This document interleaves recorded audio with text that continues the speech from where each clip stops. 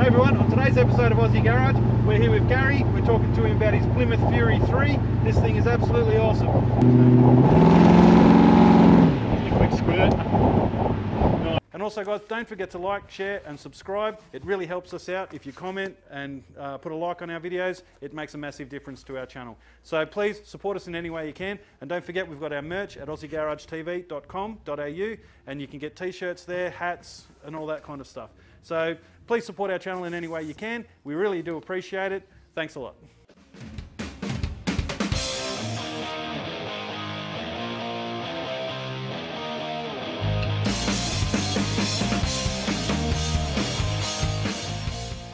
G'day everyone, Dan here. Uh, today I'm here with Gary and we're here to talk to him about his Plymouth Fury 3, which is an amazing looking car. So um, Gary, man, how long have you had this thing? How, how, what can you tell us about it? Um, I actually purchased it in, Jesus, now I reckon the brain, March to 212. Okay. I've had it 11 years, I think. Yeah, 11, just over 11 years. I first saw it in 2004 at Big Al's when he used to have his. The poker um, run, yeah? Yeah, the poker run. And I just fell in love with it because I was chasing a Charger or a Challenger. That's what I wanted. But there were just, there was too many of them coming in. And Yeah. I didn't want, I've never been one to have a, a popular car. I wanted something that was, you know, different. So I saw it and then um, I lost it. I couldn't find it anymore. Didn't have a phone on it. Waited for the guy. And then I bumped into it again uh, two years later at the National Hot Rod Show that was in Busselton. Okay. And it was there again. And I finally got hold of the owner and said to him, Look, you know, what do you want to sell this for? Blah, blah, blah, blah. And he gave me a price and I thought it was a bit high. So I chased him for about two years. I had a 300C um, SRT8 Okay. that was worked up. And I said, What about we do that and a little bit of a cashier on the side?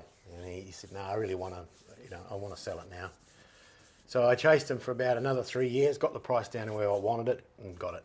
Yep. Nice. Um, so perseverance paid off in the end for that one. yeah, it did. It Yeah, did. so how, how long was that all up? About seven years or so of chasing? It was actually, yeah, it was. It was eight years. You see it on TV and you think, yeah, sure, you know, that's Mm. not that doesn't happen, but it actually did.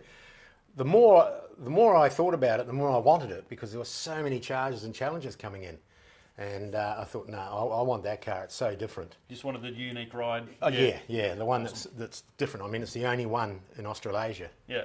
Apparently, there was one in. Well, they thought there might be one in Victoria that the guy used to put his own bales in Yeah, on a farm, but there's no truth in that apparently. So, Yeah. as far as I know, it's it's it's a rare car. Only 1952 of them ever made. So, Yeah. So you're saying that you thought there was only one other one in Australia? Yeah. That you may know of. Yeah, you, some guy Still not 100 percent on that though. no, well, uh, apparently some guy said that it was a, a Dodge Phoenix, Okay. which is the Aussie version of this. Dodge Phoenix is exactly the same body, etc., as a Fury, but a lot of other differences. But pretty much the same car, and apparently it was a Dodge Fury convertible, which are rare. Okay. So yeah, so I chased it all that time and and, uh, and finally got it. Nice. So have you kept this thing mostly originally? Is it mostly in its original trim, or Um, yes, yes and no. Um, obviously the the uh, Yeah, and that's the- s- the police spotty- light, yeah. the spotties and the and the actual bonnet. I the guy that built built the motor up had one of those in his cabinet and had that in his cabinet, and it was pretty grotty looking. So I thought, I really like that. And uh, if anybody out there knows what that comes off, tell me because I do not know, and I have not been able to find out. yeah? Um, I polished it up and I put that on. But other than that, yeah, it's pretty stock apart from obviously the the wheels, tyres. Yeah. Well, everyone changes their wheels and tires. Absolutely, yeah, But inside, it's pretty much apart from the extras like the rev counters and the, the clocks Yep. and, and things like that. Um, I don't really want to get away too much from the originality of it. yeah. Cool. So as far as the history goes, before you owned it, do you know anything about it, like when it was imported to Australia and that sort of thing? Yeah, he bought him. He bought it over about three years prior to that. He bought two back. The guy, Okay. the previous owner, he bought two back. This one went. This one he took. He bought two of them on one side. This one he took across Route 66 and back again. So when I got it, it was it was fully tired. So Yeah, know, okay. we had we had to do some work. But um, heard strong rumours that it was an ex-police car in Canada. Um, but I'm not quite sure of that. I'm, I'm trying to get the provenance on it, but Yeah. I, I probably wouldn't take much credence in it. But It'd probably Uh, be very it seems- difficult to get that kind of information. Yeah, you it know, is- These it days, is. it would, you know. it is, it is because um, Furies aren't one of the um, critique cars of, of, of Mopar, you know, like the Challenger Yeah. and the Charger, where they've got plenty of histories for them. Um, the Furies they didn't have so much of, up to about '66, I think. They had they got you can get the information on, but these it's it's just trying to glean bits of info. Right, so what's the drivetrain in this one? Uh, it's still got it's still got the same block. This is a numbers matching car, and I didn't want to I didn't want to change that. I, I, I was uh, I had an opportunity to get a 440 that was a real sweet sweet little uh, motor, but I thought nah, I want to I want to keep it because it's numbers matching. So we we just took the top off and, and completely stroked it. Yep. Got alley heads, H beam um, rods. I think they were Avanti uh, Avanti Voodoos Okay. the original ones. The guy that did my work um, was Lionheart Motors in Midland, uh, Richard, and he's a nut on Mopars. Yeah. He's also very fastidious, so he did all his work on the computer. It took him, I think, three months to get all the various pieces that could, could match up Okay. roller bearings, beehive, springs, that sort of thing. Um, and we, we put it all together. So it, uh, at the moment, um, it, it puts about 520, I think, at the 520, 525 at, at, at 6,000 revs, so that's not the highest rev. Nice. Well, that, Um, that's certainly not horsepower. Yeah. Yeah. yeah, at the block, and about 384 it to the rears. yeah, cool. So I mean, it's not the fastest thing because it weighs a couple of ton. um, but yeah, it can, it can certainly look after itself. No worries. And what, what's the gearbox and the diff? It's the same. Just the same. I've kept, yeah. it, I've kept that So all the factory all, stuff, yeah. stock. Yeah, that's all pretty much stock. Yeah. So Underneath the 426 was the original size of the motor, was it? was a 383. okay. I found those badges, so I just stuck them on there because Okay. one of the 383s had fallen off. Yeah, right. Yeah. And that was near enough to where it's sitting right uh, now. It's it's between 420 and, and 440. We can't Okay. exactly exactly know Yeah, where it course, is. yeah. So that, that's about where it is. Um, up to about two years ago, I was running a, a big Holley. Then I went uh, over to Edelbrock because I was having problems with the fuel. Yeah. And now it's got an EFI Holley Sprint Yep. um, EFI in it. So Yeah, nice. and that's made humongous difference. Yeah, okay. Just humongous. responsive. Yes, Yep. much more responsive. I don't have to sit it here for about half an hour warming up. Yeah, yeah. and we talked about fuel economy before. Did it better the fuel economy? Yeah, Well, actually, it did. It did. Yeah. I'll be honest with you, it did. Yeah, yes, um, but it's still it's still a thirsty girl. There's- Yeah, there's okay. no two ways about that. Yeah. you know. well, big big car, big motor, uh, a lot of weight to get around. So yeah. it's got a big tank, thank God. But I, could pr- probably use just under a tank getting down to um, to Dunsborough Yep. at cruising at cruising speeds with an odd blurt here and there. But you can't Yeah, do it. You've yeah. got to be so careful. No, no. Underneath's all been stripped out and redone, pretty much to what it was originally. But all the Yeah. bushes obviously were. Yeah, cool. I mean, this car's over 50 years old now, so. Uh, and uh, we've got a three-inch exhaust running all the way through from from headers. nice. And that yeah equals that nice crackle when. when Yeah, when it starts up. Yeah, yeah. it's. Uh, yeah, beautiful. I was at I was out at the show and uh, the Northern Steel show, and I started. I didn't. I wasn't even thinking that there was a family standing at the back, and because the pipes come out the sides, there was a kid standing with his with his family, and I started it up. He got such a fright, the ice cream shot out of its cup, plop, and he started crying. Oh, Yeah. And I, I, I apologised. I said, "No, don't worry about it." But uh, yeah, Yeah. it was a rather funny thing. Cool. All right, well, let's have a bit of a closer look at some of the details. All right, so the thing that really strikes me with this car is literally the size of it. Yeah. It is huge. Do you, have, do you have, actually know how long it is? It's uh, about 18 and a half feet. Wow. just just a fraction under 19, I think. So it's about uh, an inch shorter than a caddy. Yeah, okay. So you're one of these guys that parks way up the back of the car park and takes a couple of spaces? Uh, yes. Yeah, nice. I think you find most guys with classic cars take up double spaces now because these doors, Yeah. um, these doors are huge. Yeah. If you open that door, it would it wouldn't even get halfway open in a Yeah. normal car park. So Were these part of the original uh, factory thing, or you put those on? yeah. Yeah. I'm a nut. I, I love 20 aerials. Yeah, yeah. On No, the they 60s look- they and look 70s, fantastic. uh, Yeah, 60s they and 70s yeah. cars. I got that from um, Valley Grunt. Yeah. in South South Australia. I used to have a VE uh, Valiant that had been 60s uh, matte black, you know, Yeah. the whole uh, 60s look with um, Venetian blinds. And I got a set for that. And he said, I've got a spare set here, I'll chuck them in. So on they went. No worries. No, that's awesome. So the bumpers are another thing on real styling point of these, aren't they? You know what I mean? Like they've you've got the full wraparound bumper bar at the Yeah. front, and it's I'm looking at the back now, and it's pretty much the same setup, isn't it? you Yeah, know? yeah. And I love how they're really tucked in to the body. Yeah, you don't normally get that. Yeah. Uh, you know, normally, if as you see, you know, the resto mods, and they've got to pull them in, but these Yeah. are, are already there. I mean, it, it's obviously uh, a sign of a Chrysler, Chrysler built car by the big wraparound bumpers. Yeah, yeah. You know, the GXTs, the 70s had them wrap around as well. Well, I think in Australia, all we got was the Chrysler by Chrysler, wasn't it, with that big wraparound bumper? It That's was, how yeah. You, that's how you could pick those. I remember a friend of mine had one back in Canberra. Yep. Yeah, yeah, very similar. That was my first car in WA when Yeah, I came nice. over. Chrysler, Chrysler. Another massive 318. Yeah. Another massive tank of a car, yeah. yeah. So the police light, obviously, we, we touched on that just quickly before, but is that the thing that's steering you towards this possibly being a, an ex-police No, car? I put them on. You put that on, did you? Yeah, Yeah, cool. they used to have them there. They, they couldn't have them on the uh, pillars. They normally have them on the pillars with a handle, Yep. and there was a hole there, so obviously they were there, or something was there, and Okay. that led me to believe that maybe it was. Okay. Uh, I mean, look, it may be absolute crap. I don't know. No worries at all. All right, well, um, let's um, have a look at the inside. We might actually take it out, pull the top back, and Yep. and check out the trim.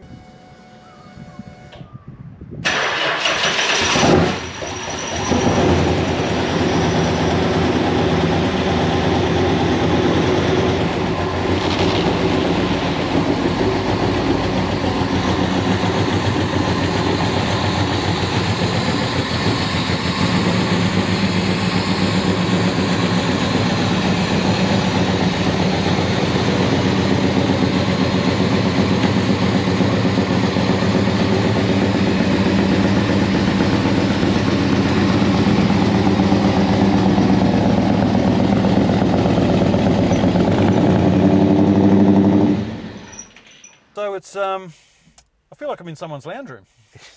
it's it's uh, certainly a cruiser. Yeah, yeah. No, Um, this is huge, isn't it? Yeah, it does. It does feel like. I mean, the seats are way back, Yeah. and, you, and you think, how can you drive like that? But it's actually very, very comfortable. I find now, um, if I drive like my Jeep, you know, I'm sort of more bolt upright. Yeah. So it, this does give you that whole sense of of cruising, and, Yeah. and you do find that you've sort of got that gangster hand on you Yeah, on- the steering wheel because it's just more comfortable. I guess. Yeah, and as a passenger, we call we can get the fat arming going on. Yeah, absolutely.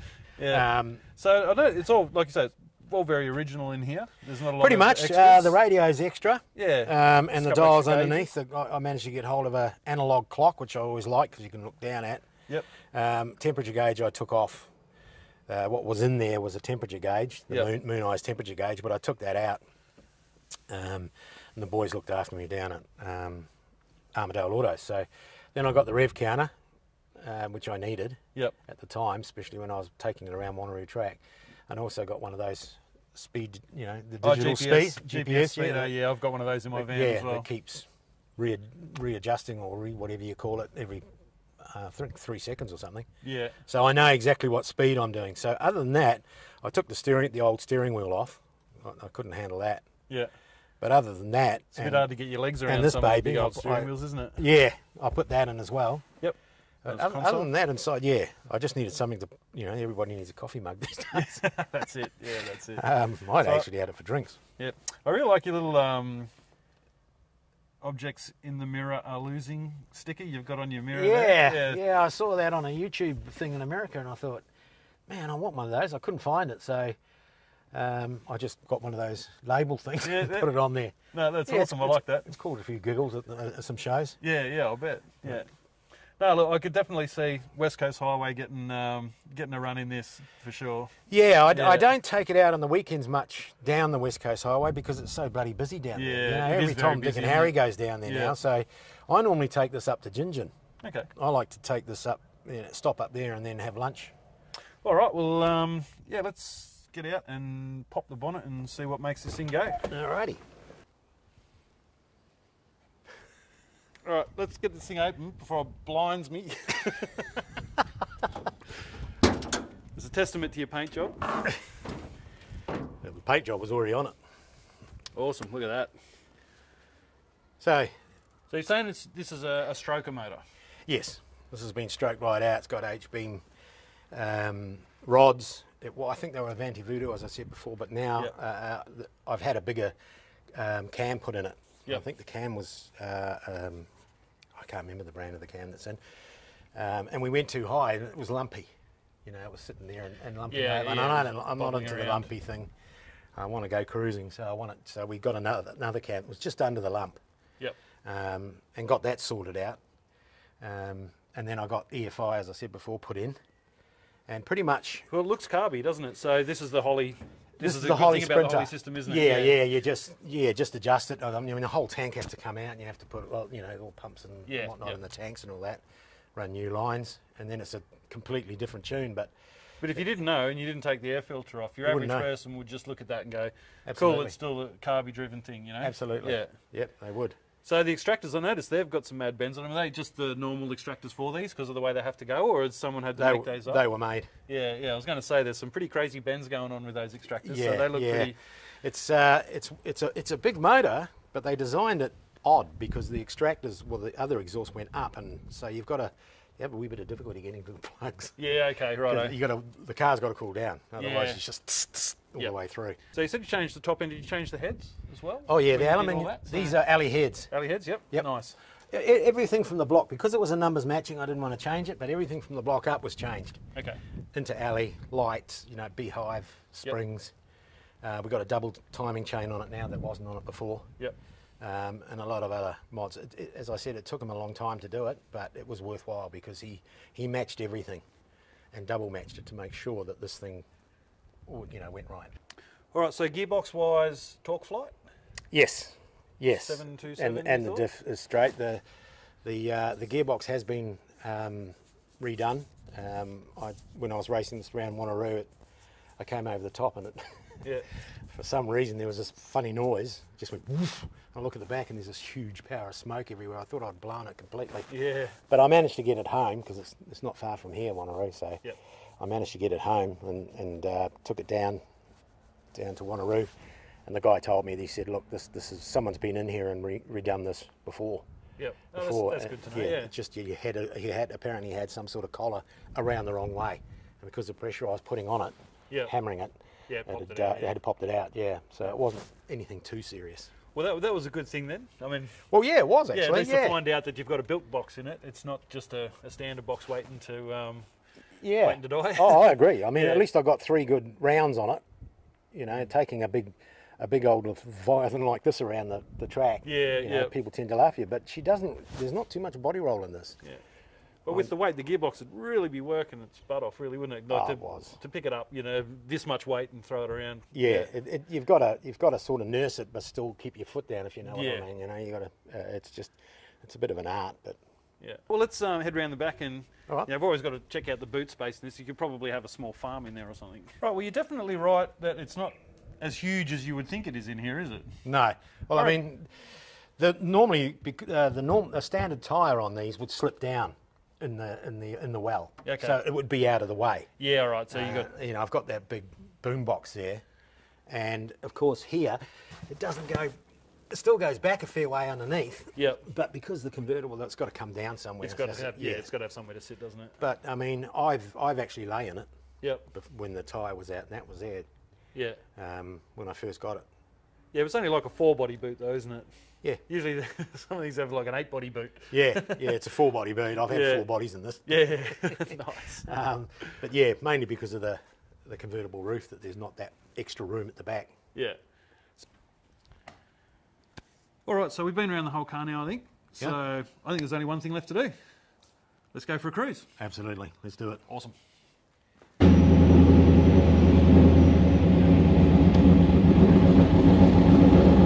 Before I had the uh, gearbox done, I, I only had two gears. Oh, okay. It just went from, the, from number two straight through to drive. When I had it done, I suddenly found I had three gears. Yeah, right. So that must have So- been the one that they played around with, I think. Yeah, that might have been the coil that was backwards, like you say, Yeah. on that gear.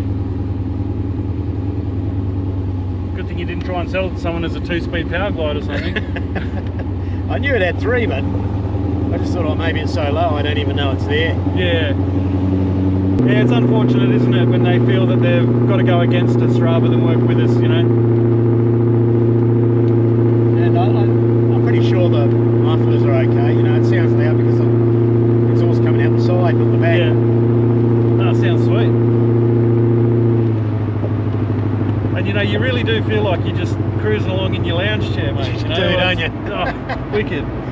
Yeah, you You know, can. it's one thing about the Australian cars, they weren't as big as these things, you know, No. like, so when you get in something this big, you just sort of start to go, oh yeah, that was, you know, that's what the Yank tank Yeah. uh, came from, Def- you know? definitely designed to go from state to state, you know, in a straight line. Yeah, yeah, They really were. yeah, But, I mean, if I'm doing a, a hundred clicks, it only goes just over 2,000 revs. Yeah. It sits around 2,000 revs, so it's you know you can tell it's got such a big stroke on it. yeah. that it really doesn't rev bugger all. It's not a high rever at, No, at, it at certainly, any stage. yeah, it certainly doesn't sound like a like a whip engine, you know, they No. formed a really revving engine, but it doesn't matter, it's a cruiser, mate, what more do you want? Well, that's right. I mean, I'm happy that it hasn't got a drone. You know, Yeah, yeah. most of them when you put your exhausts on have drones. So.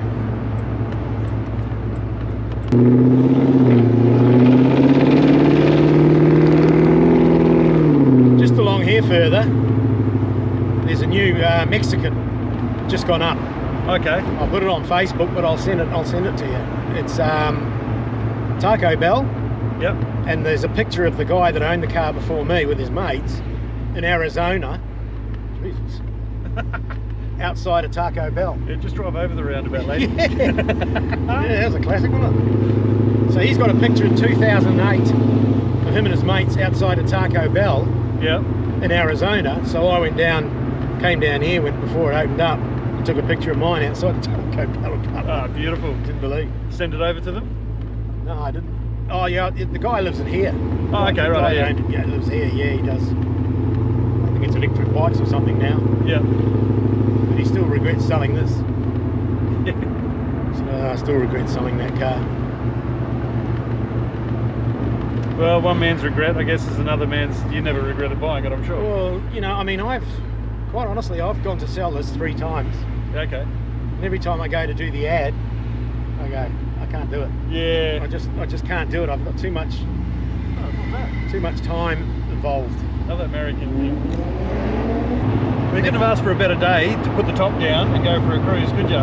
This, this spring and autumn are Yeah. the two times that the convertible comes into its own. Yeah, absolutely. You know, otherwise you'd, you'd, Too be, hot, you'd yeah. be feeling it in the heat. Yeah. Um, big thing for Mad Max. Yeah. He took it up the country. Went up with uh, Craig Clemens to the boys.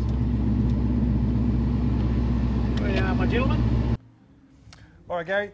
Thanks heaps for talking to us about your car, mate. It's been Absolute pleasure meeting you both. yeah, no, it's been a pleasure to talk to you, man. Um, nice weather to go for a cruise. yeah, no, it, it was a perfect day in the end. Yeah, and um, and what a beast of a car, what a tank, man. I absolutely Thanks, love man. it. So Thank yeah. you. awesome. Thank you very much. Thanks, guys. See you on the next one. Nicked it. Did you? Oh, mate, uh, when when my mate was, a, he was a bit of a rascal. He, uh, I've got a spare. Well, I actually haven't. It's going to somebody, but had a cries the spare steering wheel. Yeah. Then we'd drive along, and he'd be driving with that, and suddenly, if someone was an idiot, he'd go like that with the steering wheel, and they'd swerve out of the bloody way. Oh, it was so funny. Yeah. Or he'd pick it up and go, oh, Yeah. shot. Just get there, dig it. No, he was a, you, be, are you able to get a decent shot or not? Yeah, I'm thinking that it's going to be here. Yeah, do that because we'll, we'll overlay, and we're, we're only going to talk about this briefly. Yep. We don't need to talk a lot about the trim because there's What, not a lot to talk about. Objects in the mirror are losing. oh, it's cool. I saw it on the mirror car. I thought, oh, I'm going for those. huh? Okay,